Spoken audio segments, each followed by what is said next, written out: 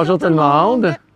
Aujourd'hui, on fait Un test d'impact sur l'autonomie de notre roulotte Tab. Alors, la roulotte table, c'est une 2005. Elle mesure 6 pieds de large par 12 pieds de long par 8 pieds de haut. C'est une roulotte qui pèse euh, 1500 livres.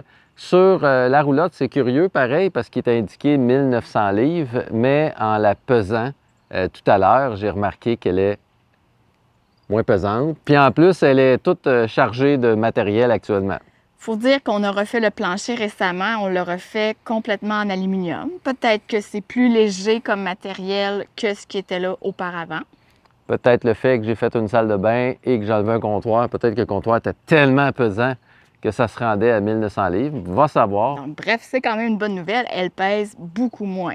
Donc, euh, pour J'ai- 1500 livres, on, on devrait être correct hein, Ouais. sur notre test par- comparativement à notre roulotte. Euh, J'ai bien hâte de voir parce que notre roulotte à nous, elle est quand même beaucoup plus longue. C'est environ un 16 pieds. Euh, à peu près la même hauteur. Il y a peut-être un petit 4 pouces de plus, mais j'ai l'impression que c'est plus pour l'auvent. mais faite en forme de petit bébé louga. Oui, mais tu sais, la, la roulotte table aussi, elle a une belle forme. Moi, j'ai l'impression Ouais. que ça devrait être pas pire comme test. Ouais. Ben, comparativement à notre roulotte à nous là, de 2200 livres avec le matériel, ben, j'ai hâte de voir euh, les résultats sur la consommation électrique. Puis on va faire encore notre même trajet, donc un 40 km, puis on va tenter de faire les mesures à partir de 20 km, la moitié, parce que l'autre moitié, euh, on met des caméras, puis on taponne après ça. Fait qu'on part maintenant.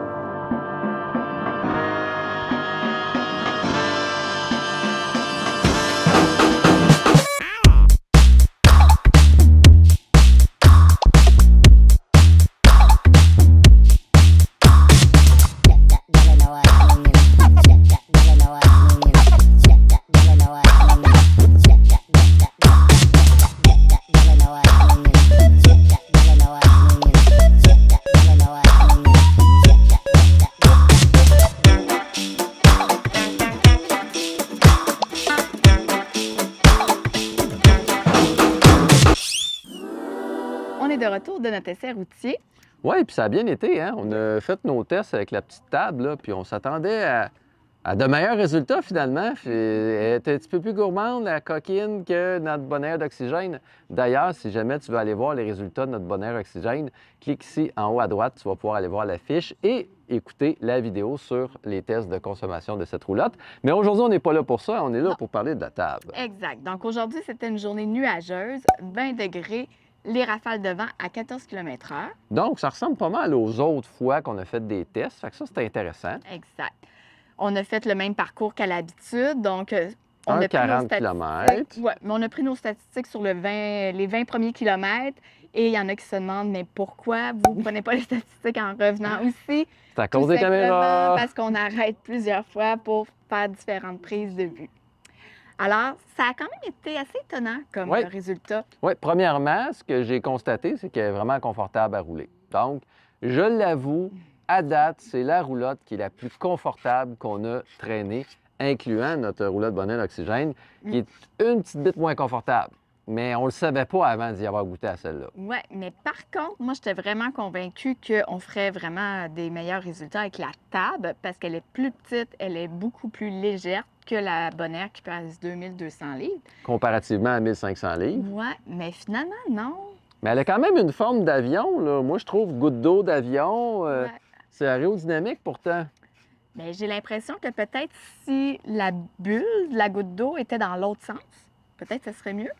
Si la pointe était devant, puis le, le, le bout le plus gros en arrière, peut-être que le vent glisserait plus dessus. Mais Ah, je le sais, on pourrait faire un test de reculons. c'est une blague. Non, mais euh, peut-être qu'à un moment donné, on pourrait essayer une roulotte qui est plutôt dans, dans Ouais, le dans sens l'autre sens. inverse. Mais euh, aujourd'hui, là, est-ce qu'on dit les résultats? Ah, on pourrait le dire, parce que là, on l'étire depuis tantôt, mais comme j'ai dit tantôt, elle était coquine, hein, parce qu'elle était Ouais. plus gourmande. Euh, c'est un fait une 200, moyenne. 360 Ouais, watts du kilomètre. 360. On a quand même atteint quelques fois des 400, par contre, là. Euh, mais ce qui était beaucoup mieux quand même que la grosse roulotte euh, qu'on a faite l'autre fois. Mais c'était quand même surprenant de voir Ouais. qu'elle consommait plus Que notre roulotte. que la bonne air. Puis là, ben, ce qu'il faut savoir, c'est que tu as un petit peu moins de confort comparativement à la nôtre, Mm. euh, parce que c'est juste un lit double, ben queen en fait, Ouais. avec une petite petit- un petit comptoir, puis c'est tout, ça s'arrête là. Tandis que nous, on a au moins une table euh, qu'on peut, euh, qu'on peut manger dessus, euh, tout en conservant notre douche. Le confort est différent, mais c'est quand Mais même une bonne toute, roulotte. Somme toute, avec l'oxygène de Bonaire, on avait une moyenne d'à peu près 328 là, sur le trajet qu'on avait fait. Parce que d'habitude, on a vraiment des meilleurs résultats que ça. Mais sur le trajet qu'on en a fait, on avait une moyenne de 328. Là, on a une moyenne de 360. C'est pas énormément plus élevé. Donc, je pense que ça peut être quand même Ouais. un bon choix pour les gens qui veulent une petite roulotte confortable euh, pour tirer avec un véhicule électrique. Donc, euh, on continue nos tests. On a d'ailleurs eu des suggestions de tentes roulottes, euh, de roulottes pliables. Euh, donc, Des on- très grosses roulottes qu'on très- ne fera pas. oui, effectivement, on l'avait vu dans un commentaire. Le gars, il disait c'était quoi, 6000 livres, euh, 28 Ouais. pieds, une affaire de même. Ah, on va quand même faire attention à la voiture. hein. On va rester dans les spécifications. Parce que ce serait drôle de perdre le hitch en arrière sur la route. Euh, donc, euh, si jamais vous avez des suggestions, vous êtes prête à passer dans le coin pour qu'on puisse faire les mêmes tests pour les documenter sur la même route, ça va nous faire plaisir euh, de, vous, de vous lire à ce sujet, puis peut-être collaborer, on verra. Qui sait?